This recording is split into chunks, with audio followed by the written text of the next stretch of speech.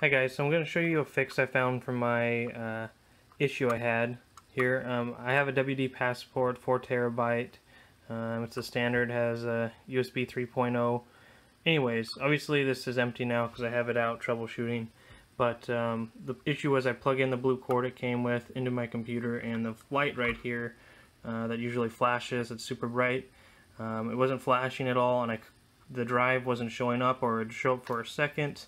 I'd wiggle the cord and uh, it'd show up for a second and I'd maybe have to hold the cord there to get data to transfer so it just it obviously was not doing what it needed to do. So what I did is I tore it apart. Um, I fixed it, it has this thing here, it's called a wedge. I just ran it around the perimeter of this.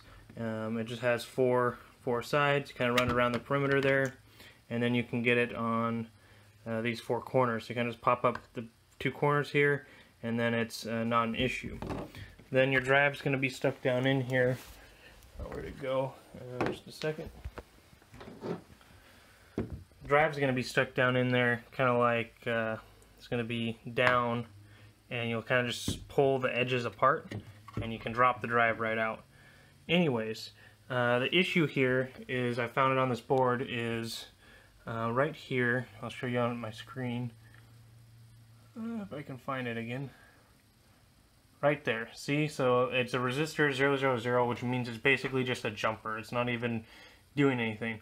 What happened there is mine didn't get soldered very well. So when I press down on that resistor, the light comes back and um, that should be the fix there. So I'll show you on the board where it's at. Obviously you can see it zoomed in here.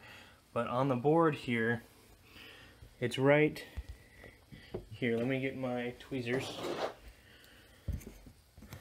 So the part that's bad, or the part, it's not necessarily bad, it just needs to be heated up with solder a little bit, is right here.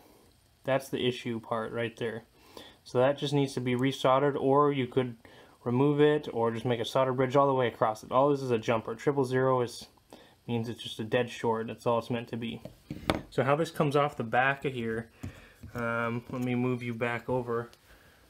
I just have a little iFixit kit. They're not sponsoring or anything, but that's just what I used because um, they have a nice bunch of little bits here. Is it says a T5 is what I use. It's kind of one of the star heads there. So just put that in your screwdriver, and it had a bunch of screws on the back here that came off. So it's kind of like this. You see there's a little plug there, and there's also a little contact pad there. Basically, it looks like this when you pull it out with a bunch with uh, five screws in it and you just unscrew all five screws there and then you can pop this right off. It kind of almost feels like you're to break it pulling it off, but it's just this plug right here. You can see that plug. It just goes right in there. So you just pop it off, and then we're going to go work on this right now to go fix it. So bring it over to my solder station here. I have mine set for 371. I usually have 375. It doesn't really matter. Just need to get it hot enough to do it.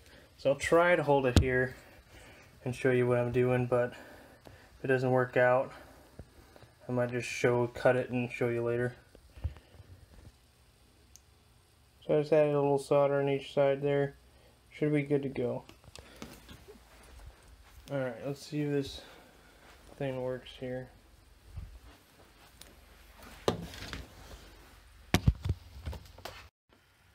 Alright, so let's try it here plug her in.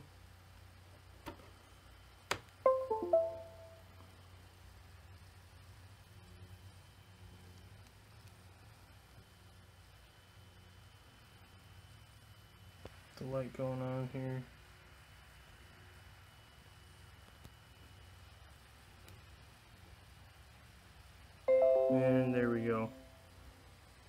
So this is my WD, I have it password protected, so there we go, it's back and it's light. And now when I wiggle it, it isn't evil anymore.